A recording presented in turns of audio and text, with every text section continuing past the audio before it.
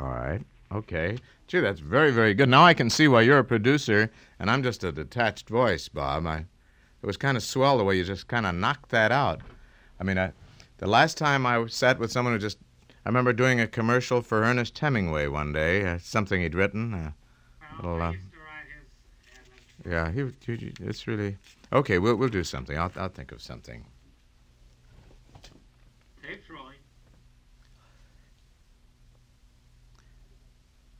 Well, I would like to say a few words now, if I have the opportunity. This is Professor Ludwig Von Drake, and I'm sitting here in the studio, and I'm not here by myself. There's a couple of fellas sitting around here. There's Boris Badenov over there, and Inspector Fenwick from the Dudley Do-Right Show.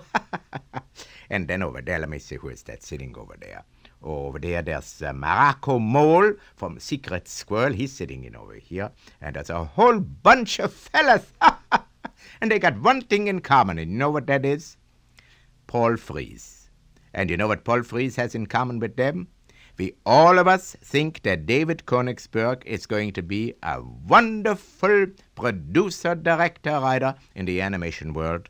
And we want to take this opportunity to wish David all of the luck in the world.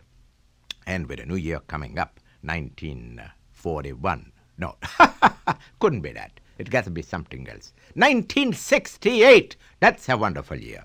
And David, this is Paul Frees. In all seriousness, I want to tell you that I've heard some wonderful, wonderful things about you and the work that you're doing.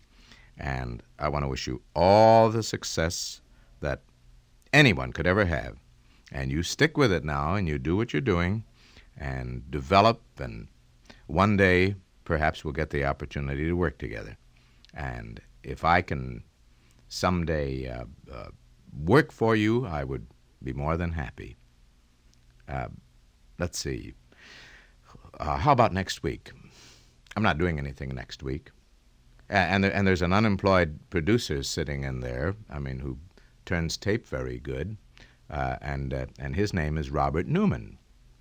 And Robert Newman has a studio called NewJack Recorders at 1717 North Highland on the sixth floor.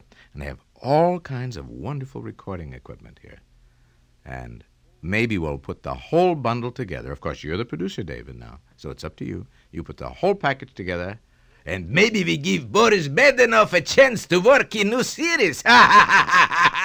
and Inspector Fenwick would just love to have the opportunity. Oh, and don't forget me, Morocco Mole. I want to work. And what about me, Yellowpinky? I would like to work for you too, Mr. Koenigsberg.